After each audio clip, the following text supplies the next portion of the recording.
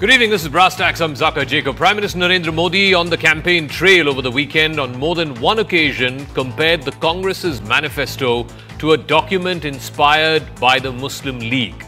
He claims that it was partisan, it was communal, and it caters to the needs and aspirations of just one community, the minority Muslim community. The Congress party has hit back saying that whatever is there in the manifesto is only meant for the upliftment of minorities who are one of the poorer sections of society.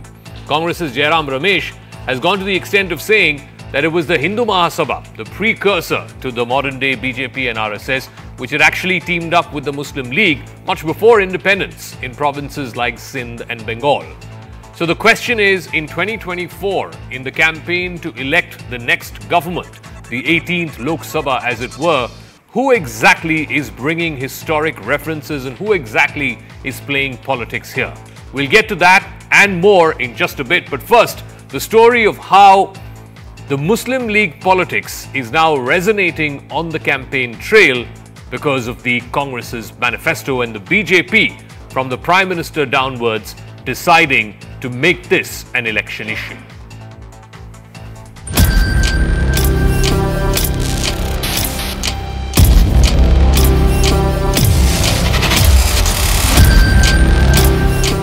Congress ने जो घोषणा पत्र बनाया है, उसमें भी मुस्लिम league की छाप है। साथियों, कांग्रेस को आज भी देश के लोगों की ज़रूरत से कोई लेना देना नहीं है। जिस तरीके की रणनीति और राजनीति कर रहे हैं और तुष्टिकरण की राजनीति कर रहे हैं, देश ने इनको माफ़ नहीं किया है और आगे भी माफ़ नहीं करेगा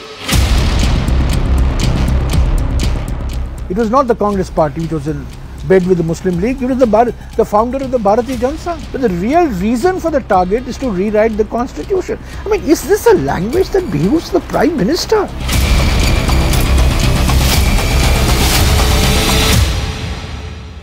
All right, so let's take you through this clash that has now erupted in the wake of the Congress's manifesto. The BJP is saying this is similar to a Muslim League document and this is pure appeasement politics.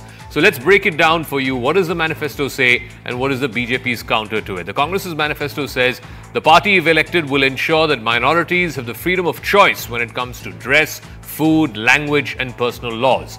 The BJP is countering that by saying the Congress will not support the Uniform Civil Code and it only will continue with binary laws. If the Congress supports UCC, one wouldn't have to explicitly say that they will support the freedom of choice when it comes to dress, food, language, etc.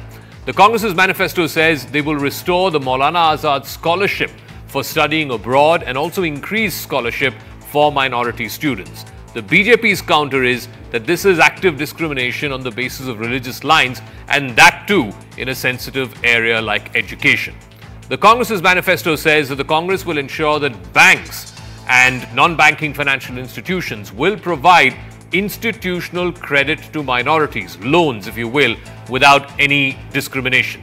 The BJP's counter to that is that bank credit has also now been communalized by the Congress party.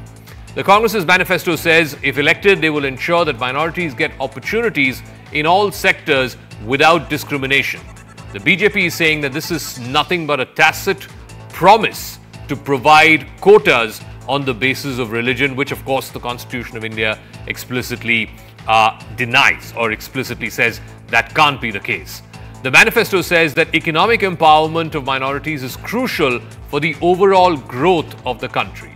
The BJP's counter to that is that minorities are the biggest beneficiaries of the Modi government's welfare schemes and it has challenged the Congress party and other opposition parties to show that there's been any discrimination when it comes to Labharti politics, which the Modi government has practiced over the last 10 years. So, the question is who is playing politics and is this the issue that's going to dominate the 2024 campaign cycle?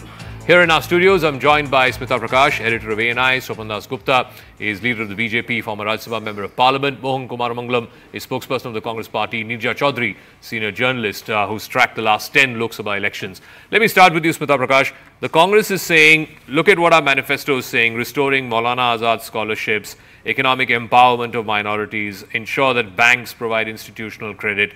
What is so discriminatory? What is so Muslim League about this? I really don't asking. know. I think it's it's uh, a kerfuffle, really. Um, going back again, uh, it's more of a trading of words and a war of words between the two.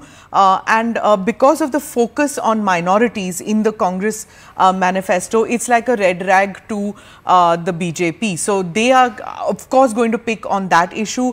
And now today, we've been seeing since yesterday, in fact, for the past 24 hours, we've been seeing history lessons which have been going on from uh, going back to Savarkar and then you're going back to Quitlam League and some even saying, uh, going back to the Lal Bal Pal of our history lessons, you know, uh, the entire uh, uh, discussion has become so murky. To me, I think uh, what what the BJP should have picked on, which they haven't, is about the redistribution of wealth, wealth. which uh, Rahul Gandhi mentions, uh, and it's talked about in the manifesto. I think that should have been something the BJP should have picked up. Instead, it has gone into its um, what everybody thought it would, which is the Muslim League. So, is, is this then an attempt at pol politicizing this issue to the extent that the BJP wants to paint the Congress as a Muslim party and wants to paint itself as a Hindu party? Well, you know, when a manifesto is brought out, it's inevitable and inescapable that it's going to be politicized. After all, this is all about politics. Mm -hmm. So here you have two aspects in which the, Cong uh, the Congress manifesto could have been attacked. One is not necessarily for what it has said, but what it can imply. And it's this overbearing thing on minorityism. Hmm. And that is a very easy stick to beat the Congress with.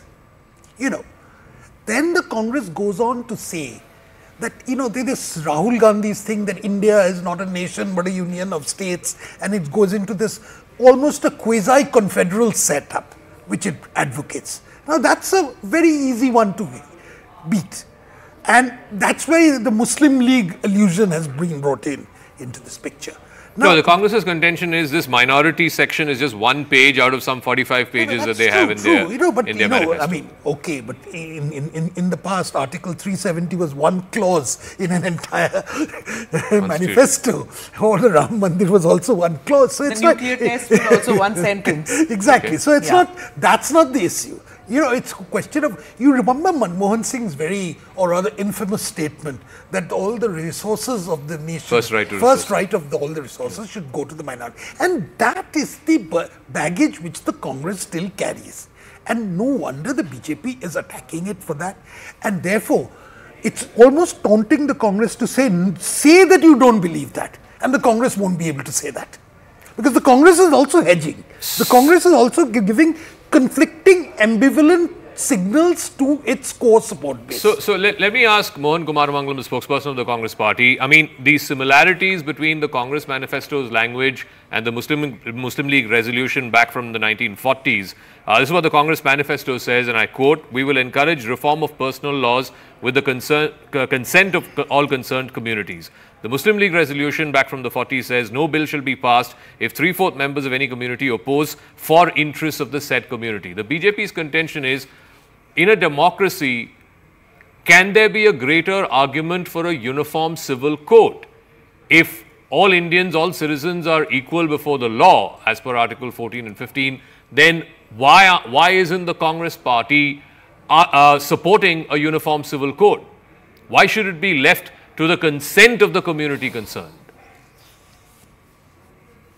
Zaka, I think the Congress has made it clear in its manifesto that everyone has a right to follow their personal laws, how form in personal laws of everyone's own religions. And I think once those laws are reformed by listening to more progressive voices from those communities, then it won't be too far a you know a journey to get to a uniform civil code, frankly. I think how you get to that point is important.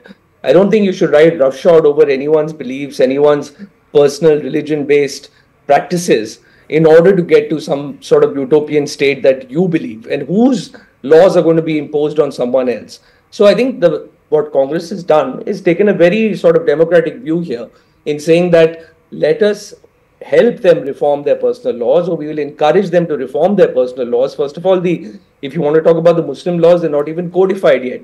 So codify those laws first after you reform them. And then I'm pretty sure we can get to a uniform civil code without much of a hullabaloo that's happening like the BJP would like for it to be. But, but Mohan, the point that Swapan Dasgupta and the BJP are making is why do you even have a section for the minorities? You don't have a section in your manifesto saying this is what we will do for the majority community. Isn't the whole manifesto about the majorities and the minorities together? And aren't minorities, if you go back to the Sachar Committee report, one of the most downtrodden sections of our society?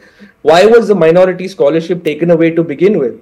This is about empowering different sections. And why is the BJP only picking on minorities? Why isn't it picking on the OBC uh, reservation that we're talking about? Because they are. This is their standard play, right? As Smita said, they've been everyone would expect the BJP to target the manifesto and try to use it to say that they are the Hindu party and the Congress is a Muslim party. But I think people are tired of this rhetoric one page in a manifesto that basically talks about things like an apprenticeship model along the German German apprenticeship apprenticeship model lines that talks about you know empowering women by giving them a stipend every year that counts to about one lakh a month. We have like major major major initiatives in that manifesto and to pick up one page and talk about it is frankly ridiculous. And the BJP could never so, talk about redistribution the way Smita says they should, because then they would come out being anti-poor, and that's not something they can afford anymore so, of. Let me ask Neerja Chaudhary this: Is this as Mohan Kumar Mangalam and the Congress would have you believe? You know, the BJP just talking up an issue because it suits them, it suits them to polarize it and to communalize it. They've taken one page out of 45 and said that, look, Congress is a Muslim party and it reeks of a Muslim League mindset. Is this issue relevant at all in 2024? Or is the Congress simply missing the point that they are not able to convey to a large majority of the people of this country the perception, rightfully or wrongly, that the BJP has made about the Congress that it caters more to the minorities than to the majority? I think, you know, the fact that the Prime Minister is pitching it so high and repeatedly at his rallies, mm-hmm. and it's very strong language he's used this time you know, comparing it to Muslim League politics, which was a creation of a, a, different state on the basis of religion which India opted against at the time of independence. So uh, it is, uh, you know, it is, of course, it's a tried and tested method of the BJP to polarize the situation along Hindu-Muslim lines and it gets the natural advantage because the Hindu consolidates behind it. And now with the Ram Mandir, the Prime Minister has also talked about the uh, Congress not going for the consecration of the temple and uh, expelling people who uh, went there and so on. So uh, it is that Hindu-Muslim divide coming to the fore again. We probably see even more strident voices in the coming days. They may have a point, say, on uniform civil code. You know, there's a commitment okay. in the Constitution towards a, civil, a uniform civil code. and I remember writing 35 years ago, 30, more than 30 years ago, after the Shah Bano judgment, about uh, absolutely the line of the Congress party that the reform in personal law should be done with the consent of the community. That's a normal democratic way to go. But then if three, four decades have come, you've come down the line and that reform initiative has not been taken so mm. far Mm-hmm. Then you can raise that question. You, the BJP can certainly raise the question in our Labharti schemes. We've not discriminated against a Muslim. That's a fact. They have not said because you're a Muslim, you will not get the benefit. And yet, it's also a fact that the Muslim community in India today is beleaguered. It feels insecure. And many people, of course, say the Prime Minister, if he comes back to power in his third stint, may reach out to the minorities in a new way, be more inclusive. Now, we will see whether that happens or not. Okay. But uh, uh, I would say certainly I look at it as pre-poll rhetoric, which is very sharp this time and which is coming from the Prime Minister himself. So, Smita Prakash, how does the BJP and the Prime Minister then speak to those concerns which Neerja Chaudhary just, just articulated, that there is a persistent feeling among sections of the minority community that the BJP is anti-minorities. So two things which Neerja pointed out which I would like to uh, talk about um, including um, uh, the other panelists. One was about the Prime Minister making a very strident uh, comment, very sharp comment and this is going to get uh, sharper as we get closer hmm. to the polling dates. The thing is that I don't think uh, the opposition and a large section of the media are still able to come to terms with the fact that the Prime Minister is a political animal. We had a Prime Minister for 10 years who was apolitical to some extent, at least vis-a-vis -vis his interaction with the people of the country. He was political in his in the machinations that needed to be done within the party and within the cabinet to some extent and many say he was underrated in that uh, respect as a mm. uh, as a politician. But so what happens is that the media and the people of the country got lulled into this of having a prime minister who's apolitical. Now comes Mr. Modi and rewrites the rules of engagement as far as a prime minister is concerned. He was political, he is political and he will continue to be political and he will lead from the front and which is how he has been and he has been and the BJP is not shying away from that fact because as a commander of his uh, battalion he is somebody who leads from the fact from the front. He is artillery as well as infantry as far as the BJP is concerned. So uh, he is going to continue doing that and uh, the people of India are willing to accept that. It's the people who've been reporting on media and the and the opposition who have to no, come to there, terms with there, that. There, there is a, a perception, rightfully or wrongfully, that uh, the Modi government in the last 10 years has not done enough for minorities. For the minorities. So Let me come how, to that how do you, point. How, how, yeah. how does he as speak far as uh, the, uh, like uh, Neerja said about the cylinder, the cylinder doesn't say whether Muslim you are a Rukhsana or you are a Rupa. You are going to get it anyway. So some of the Labharti ones, they're going to get benefit. Now, as far as the Muslims feeling something, feeling that they, they you know, the lynching or whatever, the point is that uh, a feeling is very difficult to change to, when you're constantly told that अच्छा हुआ मस्जिद गिरा दिया मंदिर बन गया when you constantly told that and then you try to legitimize it by saying that oh the uh, the uh, the mughals were not indian so it's okay to have to brought uh, that the mosque was brought down.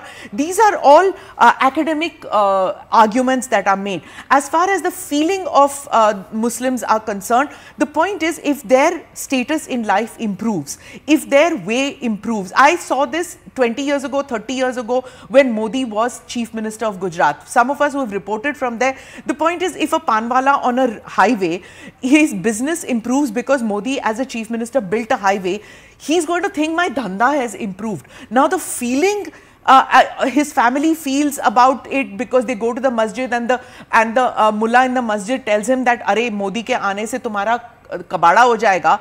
The point is that they're getting more money into their pocket because that panwala is able to bring in more money because of the highway coming there or whatever. So I'm just giving you an anecdotal reference. So this is what, as far as the feeling is concerned, it will take a little while for the Labharti to so materialize. Is this, may I just, uh, it, may I just, uh, just add from where Smita left off? You see, I think if you really look at uh, the what are the sources of the grievances of the minority communities, it's not economic. I think that's one thing we have to rule out. It's not economic. But they have a political problem. Or that is that for the first time after many, many years, the minorities, at least the Muslim community feels it does not have any political clout in the government. And I think that has got the reality, that, that is the reality. And now how do you actually fix this issue? This is a difficult one because the BJP is not really dependent on the Muslim vote. Now, if you want, if the Muslims want to make the BJP dependent on their support, then there has to be a tectonic shift in the voting patterns. And as of now, we haven't seen that happening. Yeah. On the other hand, what we are seeing is that on large sections, in, in, large parts of the country, the Congress is getting disproportionately more and more dependent on the Muslim vote. This is a, I mean, it's not the Congress's own doing, but this is how it's actually working out. Mm. So, under the circumstances, you you find that the BJP, in any case, would want to raise the rhetoric at the time of the election. And if you look, look at the Prime Minister's election uh, style, not merely uh, since he became Prime Minister, but even going back to the Gujarat time, you will find that there is a pre-election type of rhetoric, which is all about development works and what is being done, etc., etc. And once you come into the election, there's a very sharp hmm. rhetoric, which is about how to mobilize, motivate your own committed votes and get them to that. And that's a very important st step in this election because there is a feeling at one level that it's a election. Yeah. You know, uh, it, it, you know, when, when, you have uh, when you have opinion polls like yours, it says that there's no, nothing left for there's no suspense left in the election. Yeah. You've got to motivate the you've got to motivate the karyakartas to come out and vote. So this all this is playing out in that. It's needn't. I don't think we need to take this whole question about uh, Muslim League, you know, all, all that very seriously. It'll come and go, and it'll you know this is par for the course. But the Congress is also a little miffed that all its very well trained, uh, highly Americanized uh, young boys and girls who they've got to make these very social democratic type things in, in the uh, manifesto, redistribution and all that, it's getting no play. The progressives in the, The Congress. progressive aspects of there, they But want Mohan to become the- Mangalam they says le- that So they he- want to BJP be will the not left- pick that up. Mohan is probably one of the progressives. They, they, they want to be the left of the American Democratic Party. Mohan, that is what their model is. Le- you're further left of the US Democratic Party. Coastal elite. No, I, I wouldn't say many of that. I've been on the ground for 10 years in Salem in Tamil Nadu. So, but yes, I mean, I, I mean, I speak sort of uh, English uh, pretty fluently. So you could put me in the progressive. I don't mind being called a progressive either. Now, Swapan is right, actually. One of the things I was going to mention that he did was that there's no representation. They're not even candidates, right? I mean, you went through the whole Karnataka election without a single Muslim candidate. There's also the Prime Minister's own utterances at different points in time when he said that, you know, I can recognize who the criminals are in a riot by the clothes they wear, or Mr. Yogi Adityanath saying that, you know, I don't want 20% of the vote. These sort of snide utterances that help to polarize the election. And it's all fine to say he's a political animal and, you know, hey, this is what he's going to do during the election. The rhetoric is going to get sharper. But this is very divisive. And if the man is now larger than life and he's definitely going to win this election, then why continue to divide society along these lines? And I'll tell you one thing else, Zaka. You know, I- I'll use this as an example. Before Ma- Mayawati first became a chief minister in Uttar Pradesh, you could ask the Dalits there when they went to the police station how they were treated. Today, if you ask a young Muslim boy if he goes to a police station in UP how he's treated, you will get a real response on what's changed for them in their lives. But- but Mohan, and that's the- the, the first point side- for a normal person. The- Once again, that's the first point for a normal person how their lives change when the air around them, when the environment around them changes. But, but the flip So side to that argument at the is the flip side to that argument is, as as Swapan Das Gupta said a moment ago, what happens to the Congress party? You are today, for better or for worse, considered a party that is dependent on 20% of the vote. Not really, because Swapan answered his answered that question when he said that he's basically preaching to the converted. How many times are you going to try and pull that same trick out of the bag and hope that the same people will vote for you? There's, uh, we believe there's only so much, there's only so many gains to be made in polarizing the vote. They've already got there. I think the issues that will dictate this election are really issues that matter to the livelihoods of people. That's Okay. why we are talking more and more about unemployment. We're talking about inflation. We're talking about how we put money back into people's hands.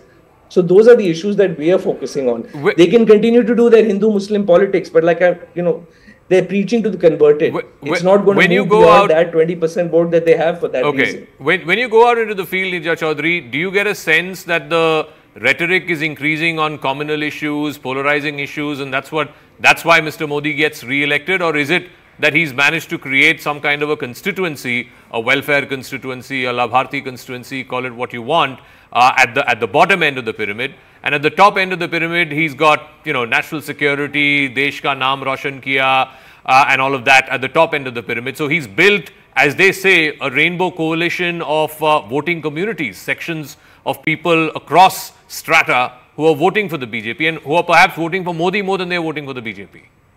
Two points I want to make here. I agree with you. I think the Prime Minister did not have to do this. That's my personal view. Because the issue in this election is Narendra Modi And it's all the things that you have put there, you know, uh, uh, it, it, that adds up to Narendra Modi.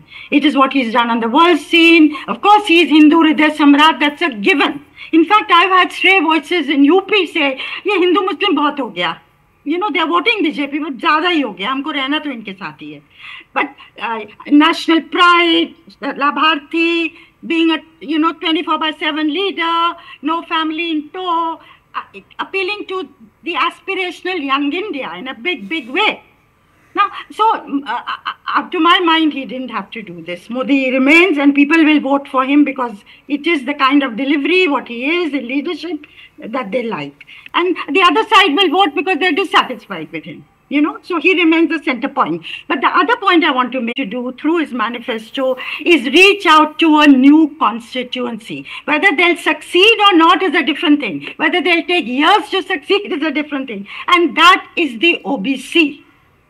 OBCs have never been part of the Congress's constituency. Maybe, you know, in uh, uh southern states, maybe when Devraj was there, Indira Gandhi won in 1978, leave that aside. Certainly all over North India, which is their main challenge, it was upper caste, Dalits and Muslims. But they, by insisting on the caste census, by talking about doing away with the cap, Supreme Court given cap for 50% of reservation, yeah. no more, by promising that they will have reservations in the private sector, and then, of course, going for women as a major constituency, which they've been doing over a period. I think uh, at least they're getting their direction right. Whether or not they will succeed is a different thing. But, but then, but then the, the, the, counter to that argument is... Uh, have uh, plan to repeal the CAA.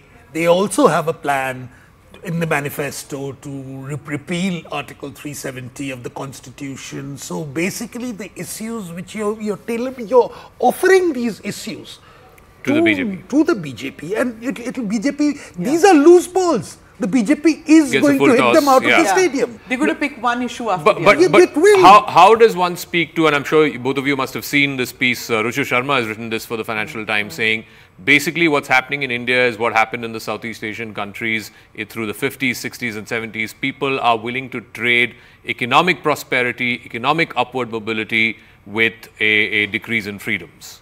That is Ruchir I mean, that's his, that's his view. That is a perception of certain people. It's a very trendy view, which is there in uh, certain Western thing, that we've give, given our freedoms away. I don't think our freedoms have been given away. I think people are combative as usual. They are pugnacious. They are still fighting it out. It, There's a slugfest night, going on. Every, every night, night coming on is. TV and saying that freedom of the press has been stifled can only be done in a freedomocracy. Every night you will have people coming on channel after channel saying media is muzzled.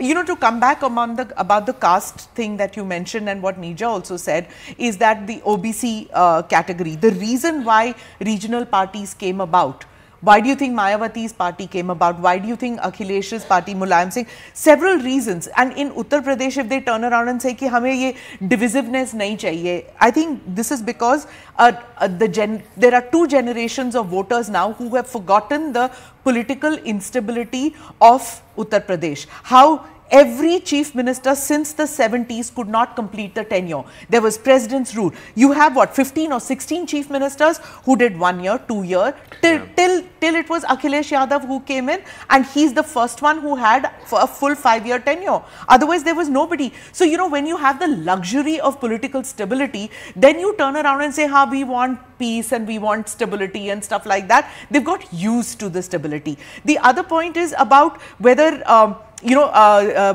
uh, uh, Modi uh, having said about logon ke kapde pehen ke and that is divisiveness. What do you think Rahul Gandhi did when he said caste?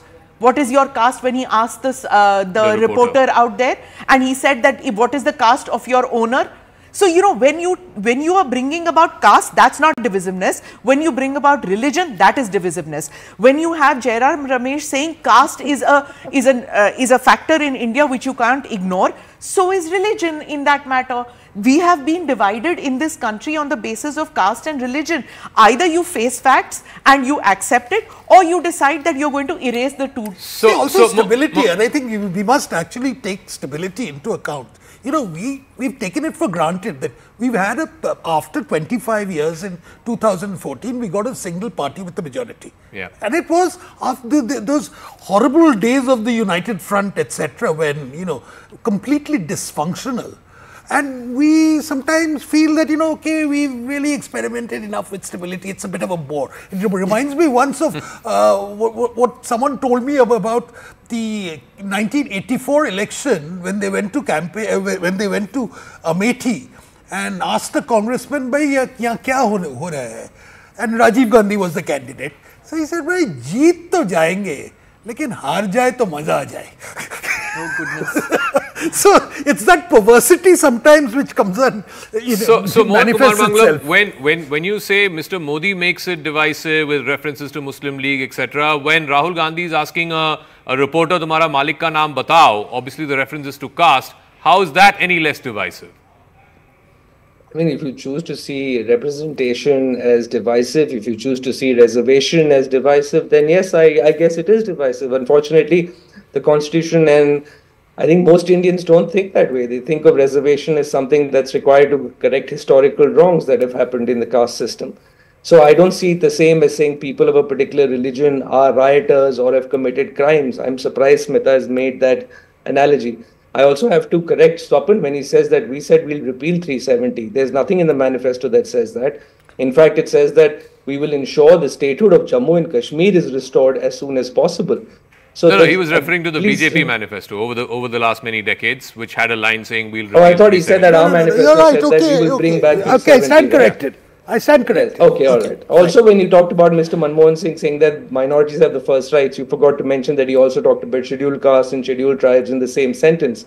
So what he talked about really was all disempowered, voiceless, downtrodden need to have the first right on our resources, and there's no debating that. No, but uh, Mohan, I come back to the point again. What all of this is doing, again, whether knowingly or unknowingly, is it's cementing the perception that the Congress today is a party of the minorities. Whether it's again to use your own analogy and what you said of Manmohan Singh, you've become a party that's dependent on you know socially uh, uh, uh, disadvantaged minorities or you know, communally disadvantaged minorities. Ultimately, the majority of this country seems to think that you don't speak for them. Is the majority of this country not OBC, SC, ST? Uh, on what basis are you saying that those they're minorities? You just said I mean, you just, you just said that Manmohan Singh. Manmohan yes, Singh said uh, minorities in the same breath as he minorities said. and SCSTs, and he was when he said that he was talking about economically underprivileged, the downtrodden. They should have the first right. Basically, he was talking about poor, the poor people of our country, and there's nothing wrong with it. I'm sure the BJP will have no objection to that statement if they read the entire the statement in its entirety. Okay. How are you saying that's not the majority? The majority of our country is still living under the poverty line unless you, of course, you know, believe the multi-dimension poverty nonsense that's been put out there by the BJP, who's trying to convince us that less than five percent of our country is poor. So, you know, I'll give the final word to Neerja Chaudhary. Uh, there is an argument that the Congress is also putting forth, right? Mr. Modi has been in power for the last 10 years. Why is he not running on his record? Why does he have to resort to Muslim League and this and that, all the divisive non-issues, instead of saying that, look, this is my 10 years, you had UPA 10 years before that. You decide which was better. This is only a reaction to the Congress manifesto. manifesto. It's not their manifesto, for heaven's sake. Neerja Chaudhary. Uh, yeah, uh, I would agree with that because, as I said, he is the issue in this election. And I, I feel he did not have to. I mean, it's all right for uh, one BJP leader here and there to talk about it like that, but for the Prime Minister, he did not have to because at the end of 10 years, he remains as popular there has been no other prime minister India has had who's remained popular at the end of 10 years. Nehru won the election in 1962, but was losing ground, was frail, was not the old Nehru. And Indira Gandhi routed after 10 years. Manmohan Singh, in two, from 2004 to 2014, the third prime minister who did 10 years, the grand old party slumped to just, just over 40 seats. And Narendra Modi at the end of 10 years is popular. So I think he did not, I personally feel he did not have to do this. Okay. Muslim talk. To win an election, you need to do all kinds of things. As I'm they just say, Sam, Dam, Dand, yeah. Okay, we'll leave it at that. We'll see how this story plays out, whether it resonates on the ground or whether this is going to be confined to the TV studios and the political rhetoric of the campaign. But what we're going to do now is to take a quick break and talking about political rhetoric. There's a full-fledged political clash now that's erupted in Hyderabad after the MIM chief, Asaduddin Owaisi, he visited Mukhtar Ansari's family and after that, he is now claiming that he's receiving death threats. His main rival in the seat of Hyderabad, the BJP's Madhvi Lata, is accusing him of siding with radical elements, and that's why he's getting these death threats. We'll take a quick break. When we come back, we'll have that story and a face off between the MIM and the BJP on that story. That's right after this quick break.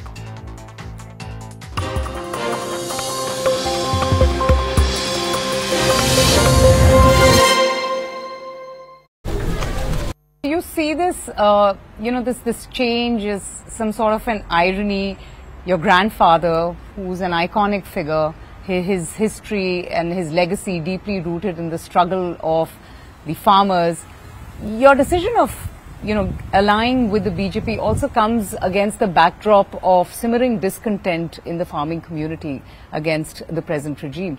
And uh, the main demand that you would uh, also know is, of, of course, the rising sugarcane crisis, but predominantly pan-India it has been to give a legal guarantee on MSP. Do you feel in some sort of a way a little conflicted with allying with a party and also having to, you know, be the torchbearer of See, not the at all. farmers community because you are a very recognizable uh, We- face amongst that community as well. I understand your question. We have to engage with the policymakers. At least today, when there are farmers, you know, who have their demands, they are able to put it to government. People in government, people in BJP should not feel कि ये हमारे दुश्मन है. And they do not feel like that. Coming from the inside, from sharing my perspective of what I have, you know, sat through with them in meetings, their perspective, it's not that they have any adversarial attitude towards farmers. They recognize the contribution of farmers. And they want to do more for that community, for agriculturalists. Did you feel the same when you were in the opposition? Course, see, government will take decisions. Some of them are good decisions. They're providing direct support, 6,000 rupees direct to everyone. Whether whatever your caste is, where you come from, you're Hindu or Muslim, doesn't matter. You're a farmer, that has been recognized. Straight to your account, government is providing some support. Maybe meager, may not be what is required, but it is a commitment. And therefore, even the Bharat Ratna decision, in a way, it recognizes the spirit of this government and the approach. So not at all. I'm not putting any, uh, you know, it's not with a heavy heart I've taken this decision. I've taken it with a lot of hope. And farmers of this country must have hope. The third regime, uh, the third term that we are seeking, thrice, a big mandate we are going to the people with.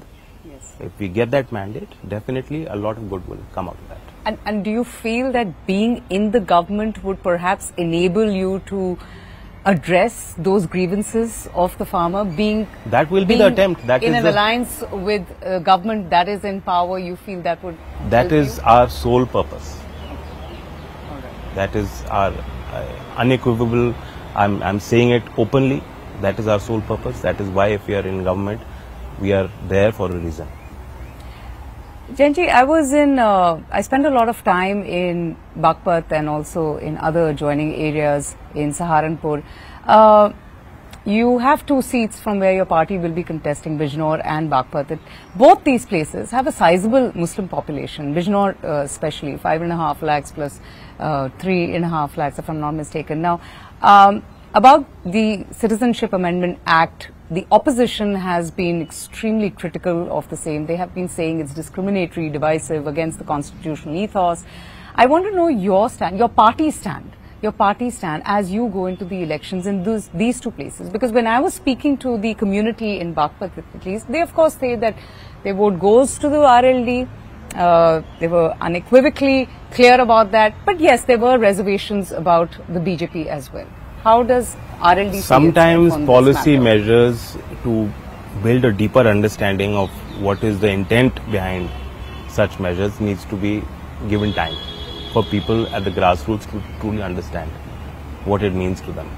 I think CA is one of those issues. It's not about uh, denying anyone citizenship as much as it is about according rights to people who have been persecuted in our neighboring countries. So from a human uh, rights perspective, it is a positive move. You see this, uh, you know, this, this change is some sort of an irony. Your grandfather, who's an iconic figure, his history and his legacy deeply rooted in the struggle of the farmers. Your decision of you know, allying with the BJP also comes against the backdrop of simmering discontent in the farming community against the present regime. And uh, the main demand that you would uh, also know is, of, of course, the rising sugarcane crisis, but predominantly pan-India it has been to give a legal guarantee on MSP. Do you feel in some sort of a way a little conflicted?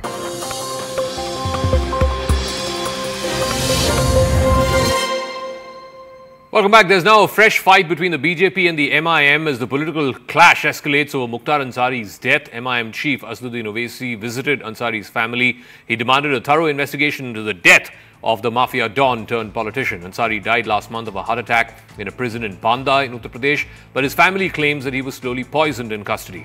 Owaisi has said that after meeting Ansari's family, he's been getting death threats. The MIM chief claimed that evil forces were threatening him and asserted that he's not going to go away so easily. Remember, Owaisi also remarked about Ansari's death, saying that the people of Ghazipur had lost their favourite son. Owaisi has also urged the Election Commission to monitor threatening social media posts. His opponent in Hyderabad, the BJP candidate Madhvi Lata, has mocked Owaisi, saying that he's facing flack because of the kind of friends that he's making. Madhvi Lata claims that uh, friendship with Ansari is indicative of his links with radical elements like ISIS. Ahead of the Lok Sabha battle for Hyderabad, is Owaisi on the back foot in the battle of optics? Mukhtar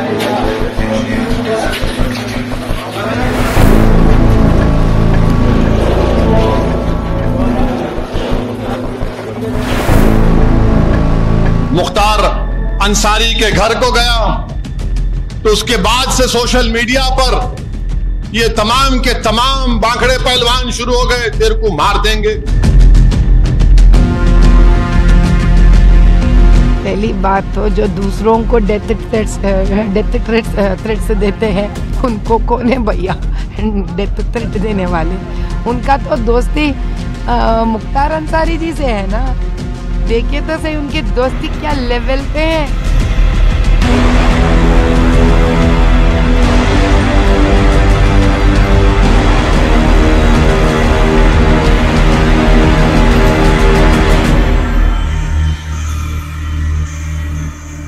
Rachna Reddy is spokesperson of the Telangana BJP. Adil Hassan spokesperson of the AIMIM. Uh, Adil Hassan, so the Hyderabad candidate of the BJP has said that Mr. Owaisi is getting death threats because of the company he keeps.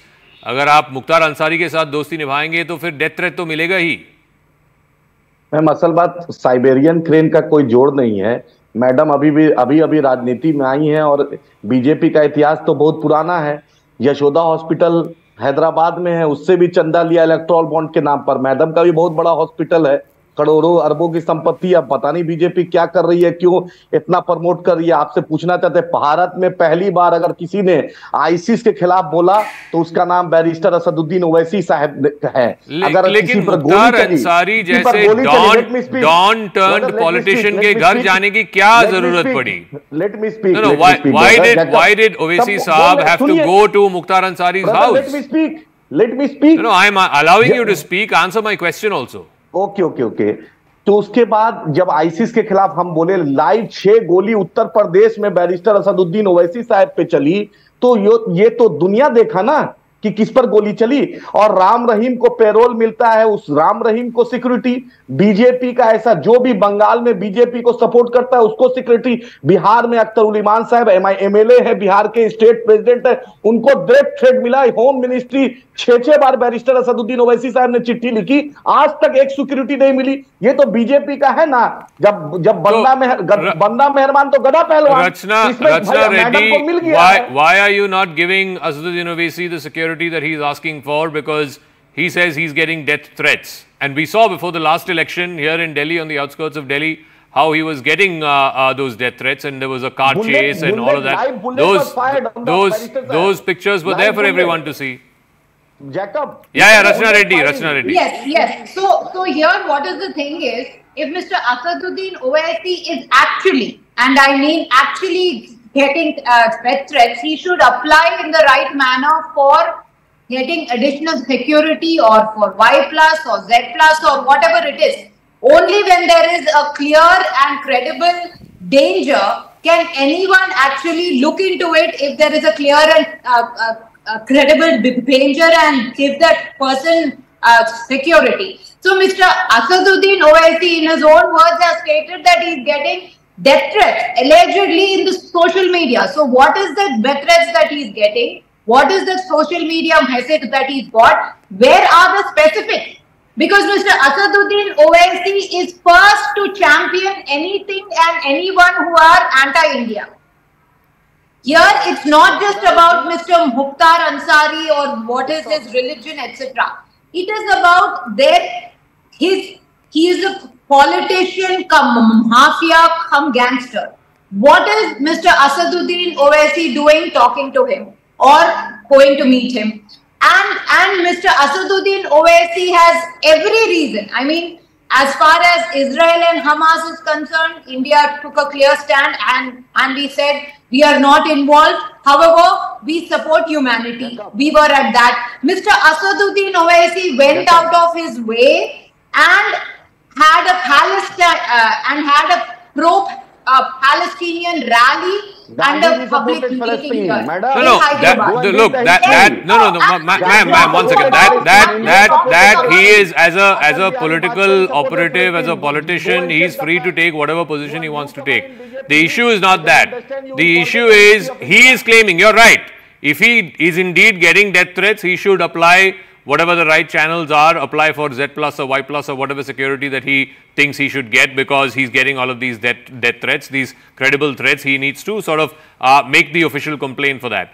But who he supports, what issue he supports, what he doesn't support, He's free to support whatever cause he wants to support. It has a, direct relation. I'll tell you why. Here is the here is the issue where if he if he were to apply that credible threat perception will be assessed by the Home Ministry and by the central Why the home? What the home? Ministry? Because if he is if he is applying for credible threat, threat that will be assessed first by the required authorities and only after that will there be. Adil Adil Hasan साहब अगर इनके पास credible threat है तो जाके police station में complain दर्ज करें। Jacob साहब ये सोशल मीडिया पे जो थ्रेट का ज़िक्र उन्होंने किया उससे उससे कैसे पता चलता है कि थ्रेट क्रेडिबल है कि नहीं? अगर क्रेडिबल थ्रेट है जाके एफआईआर दर्ज कीजिए। अच्छे मोहन भागवत जी को मोहन भागवत जी को जेट प्लस सिक्योरिटी किस आधार पर मिला हुआ है? प्रधानमंत्री पे भारत में सबसे ज़्यादा सुरक्षा 535 करोड़ रुपए खर्च हो रहा है।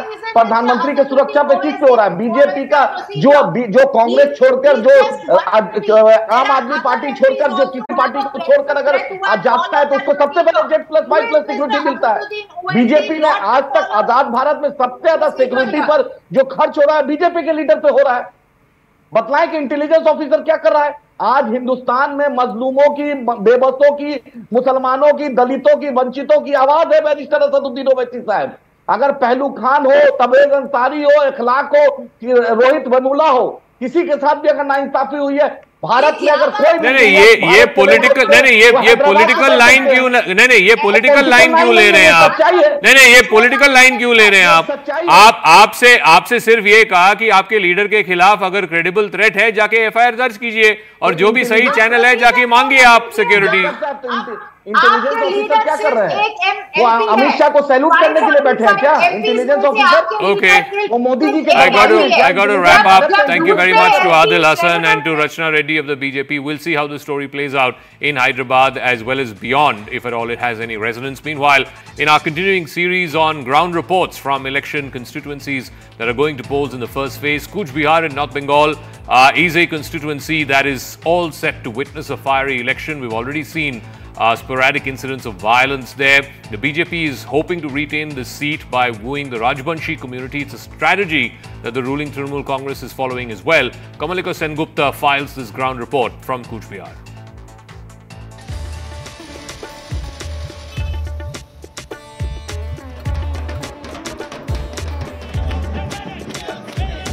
In the first phase of Bengal Lok Sabha polls, the most important constituency is Cooch Behar constituency. Now Cooch Behar is a place which is known for the Rajas. This was once the capital of Kamta kingdom and the Koch dynasty also used to rule from this place. Cooch Behar constituency has seven assembly constituency. All of them falls in Cooch Behar district. There are nearly 20 lakh population in this constituency. In 2019, out of the seven assembly constituency, five constituency BJP got a lead in five constituency. Even in 2021, when Trinamool swept the state, BJP got more seats from this place.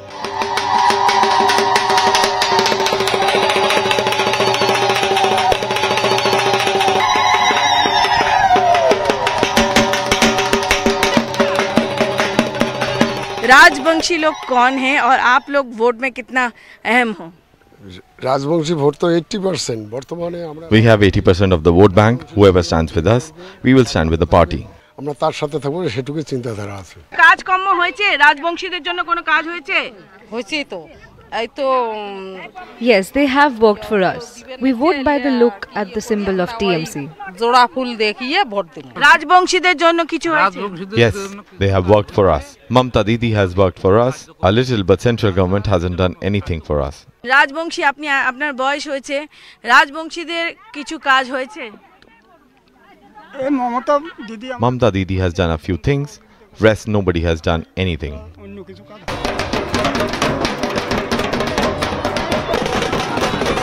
Cooch Behar was once a strong bastion of the left, but now it's the constituency of MOS home Nisit Pramanik, who won from here in 2019. In fact, the BJP made maximum electoral gains since the 2019 elections in the Cooch Behar region. How is the Josh? Josh कैसा है ना देखिए schedule to बहुत busy है और is samay mein. बिल्कुल election की पहले कैंपेनिंग के टाइम पे अ, बहुत ही ज़्यादा कार्यक्रम रहता है।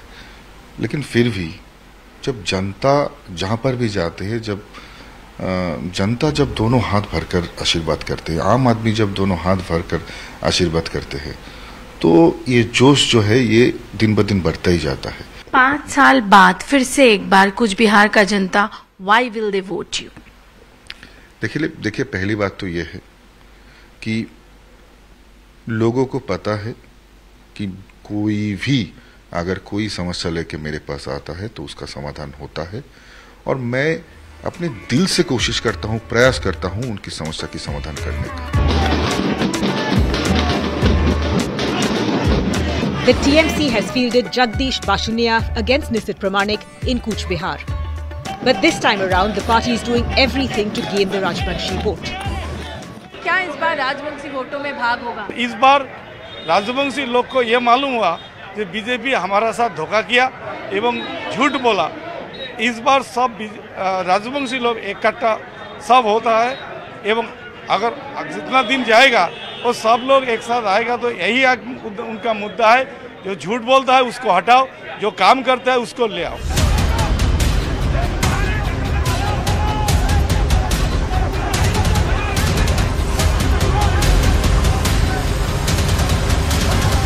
try to talk to people that what do they feel of the violence that take place in election ये बताइए कि वोट आने से क्या चीज़ के ऊपर वोट देंगे इतना जो अशांति आज यहाँ पे बम चल गया कल वहाँ पे गोली चल गया 2021 में गोली चला आप लोग को शांति भी क्या एक चीज़ है जिस শান্তিতে ভোট চাই তো শান্তিতে ভোট চাই আছে We want to vote in peace.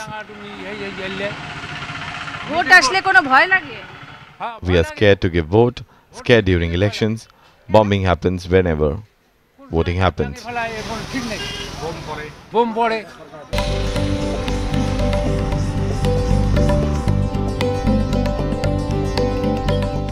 On 22nd January, when the entire focus of the country was in Ayodhya Ram Mandir, here in Cooch Behar, in this area of Rajarhat, another Ram Mandir was also inaugurated. Now, according to the MOS home, Nishit Pramanik, he plans to come up with 100 such Ram Mandirs. Interestingly, this is a very new Ram Mandir which has been formed here, which has been built up here and more to come. Ram Mandir बना और क्यों चाहिए ये राम मंदिर 22 तारीख को बना है जनवरी की 22 तारीख में और ये मंदिर जब बना तब जिस दिन से शुरू हुआ था मंदिर बन, बनाना उस दिन से हम लोग बहुत खुश थे। Both Mamata and Narendra Modi they are batting for Cooch Behar they are themselves batting in Cooch Behar what will happen which side the win will go will the Rajbanshis be in the saffron camp और on the other side that answer everybody will get on the fourth June till then we have to really wait.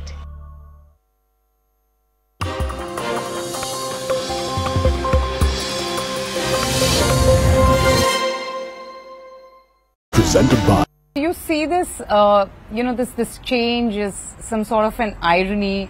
Your grandfather, who's an iconic figure, his history and his legacy deeply rooted in the struggle of the farmers. Your decision of, you know, allying with the BJP also comes against the backdrop of simmering discontent in the farming community against the present regime.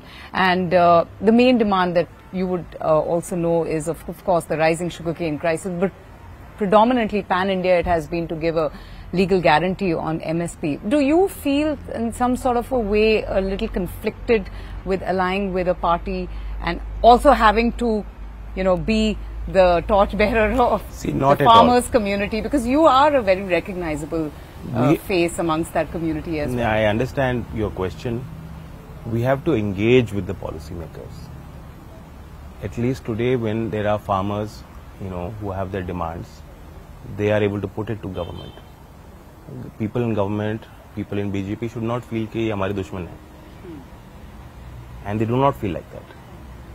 Coming from the inside, from sharing my perspective of what I have, you know, sat through with them in meetings, their perspective, it's not that they have any adversarial attitude towards farmers. They recognize the contribution of farmers. And they want to do more for that community, for agriculturalists. Did you feel the same when you were in the opposition? Of course, see, government will take decisions. Some of them are good decisions. They're providing direct support, 6,000 rupees direct to everyone. Whether whatever your caste is, where you come from, you're Hindu or Muslim, doesn't matter. You're a farmer, that has been recognized. Straight to your account, government is providing some support. Maybe meager, may not be what is required, but it is a commitment. And therefore, even the Bharat Ratna decision, in a way, it recognizes the spirit of this government and the approach. So not at all. I'm not putting any, uh, you know, it's not with a heavy heart I've taken this decision. I've taken it with a lot of hope. And farmers of this country must have hope. The third regime, uh, the third term that we are seeking, thrice and big mandate we are going to the people with. Yes. If we get that mandate, definitely a lot of good will come out of that. And, and do you feel that being in the government would perhaps enable you to address those grievances of the farmer being That will be the attempt. That in is an the- alliance with a government that is in power you feel that would that is you? our sole purpose. That is our uh, unequivocal. I'm, I'm saying it openly. That is our sole purpose. That is why, if we are in government, we are there for a reason. Genji, I was in, uh, I spent a lot of time in Baghpat and also in other adjoining areas in Saharanpur. Uh, you have two seats from where your party will be contesting, Bijnor and Baghpat. Both these places have a sizable Muslim population, Bijnor uh, especially, five and a half lakhs plus uh, three and a half lakhs if I'm not mistaken. Now, um, about the Citizenship Amendment Act, the opposition has been extremely critical of the same. They have been saying it's discriminatory, divisive, against the constitutional ethos. I want to know your stand, your party stand, your party stand as you go into the elections in those, these two places. Because when I was speaking to the community in Baghpat at least, they of course say that their vote goes to the RLD. Uh, they were unequivocally clear about that. But yes, there were reservations about the BJP as well. How does RLD Sometimes policy measures to build a deeper understanding of what is the intent behind such measures needs to be given time for people at the grassroots to truly understand what it means to them. I think CA is one of those issues. It's not about uh, denying anyone's citizenship as much as it is about according rights to people who have been persecuted in our neighboring countries. So from a human uh, rights perspective, it is a positive move. Do you see this, uh, you know, this, this change is some sort of an irony? Your grandfather, who's an iconic figure, his history and his legacy deeply rooted in the struggle of the farmers. Your decision of, you know, allying with the BJP also comes against the backdrop of simmering discontent in the farming community against the present regime. And uh, the main demand that you would uh, also know is, of, of course, the rising sugarcane crisis, but predominantly pan-India, it has been to give a legal guarantee on MSP. Do you feel in some sort of a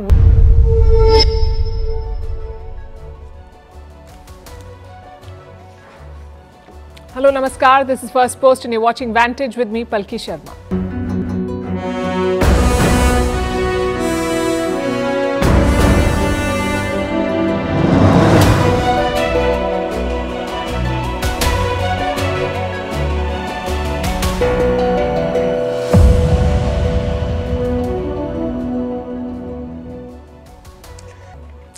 If you're watching us from India, here's a question for you.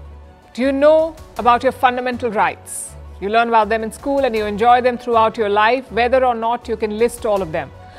We are talking about them tonight because India's Supreme Court has said that you have a right against climate change. You have a right to climate